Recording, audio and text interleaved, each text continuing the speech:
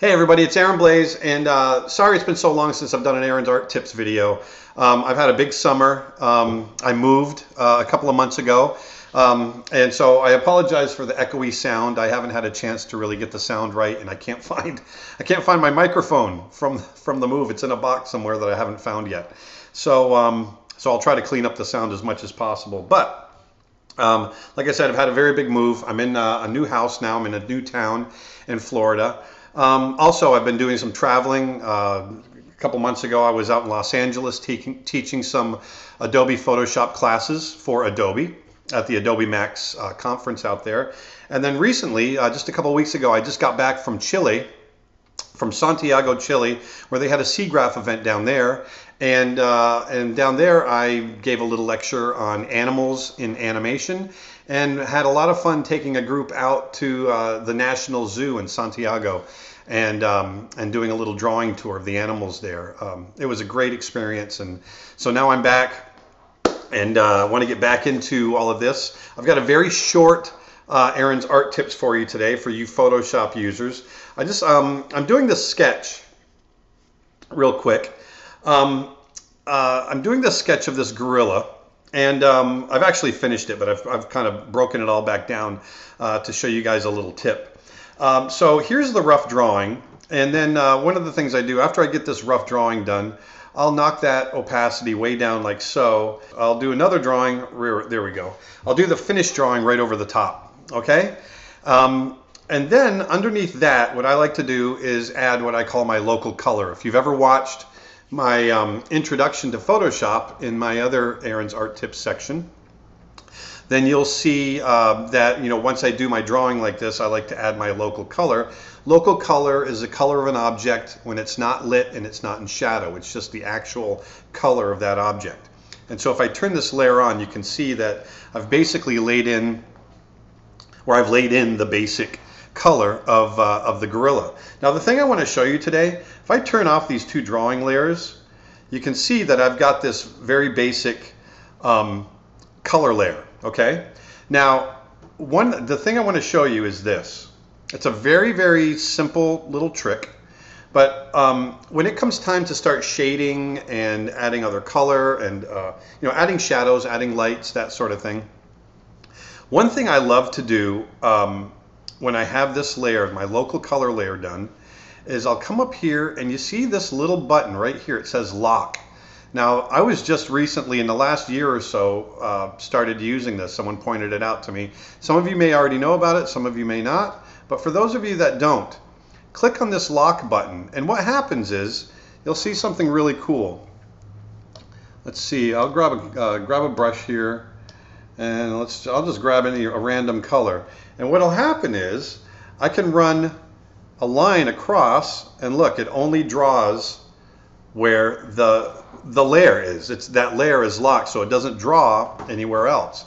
Now the reason that comes in so handy is the reason that comes in so handy is we just turned on these two new layers. I'm sorry the two drawing layers. I'm going to lock that uh, local color layer like uh, the, the color layer right there and then what I'll do is I'm going to come up here and I'm going to grab a brush. Yeah, I'll grab this brush and I'll bring it about that size. And I'm going to bring the opacity here. I'm going to, I want it to, I'm going to do my shadows is what I'm going to do. So I'm going to um, go a little bit dark in here and then I'm going to set my blend mode. These are my brush blend modes up here. I'm going to set that to multiply. So now what that's going to do is I'm going to be able to paint shadows in there. Now the reason it works so well when you have that layer locked is watch, I can paint along the edge here and look, it won't go outside. I can be very loose with it and it doesn't go outside the line. See here? I can just be nice and broad with it and it doesn't go outside that line. Now in here, obviously, I got to be careful because it's all within the same layer back here, through here. It doesn't go outside the line. And that comes in very, very handy. It speeds my process up immensely. So now as I paint in my shadows,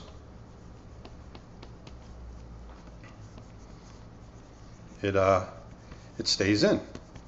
Now let's say I want to do some light areas. So let's I'm going to just go ahead and grab you know, a little lighter color.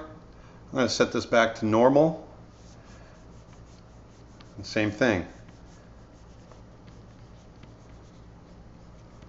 It won't paint outside that layer.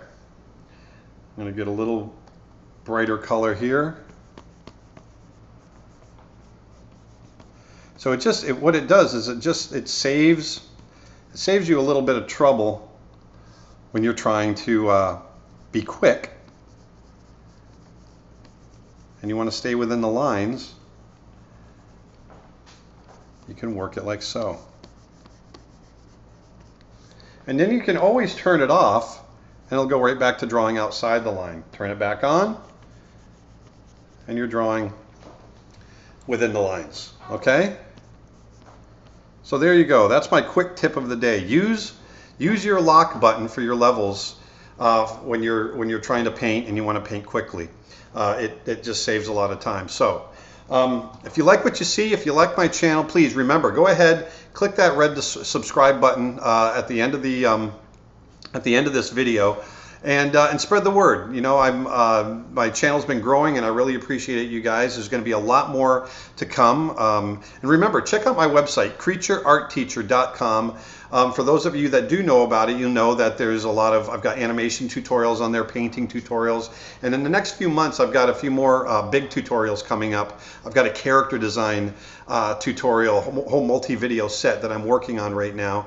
And I've also got a lot of how to draw animals and that sort of thing. So anyway, uh, I hope you've learned something today. Get out there and keep on painting, keep on drawing, and I'll talk to you next time. Thanks. Bye.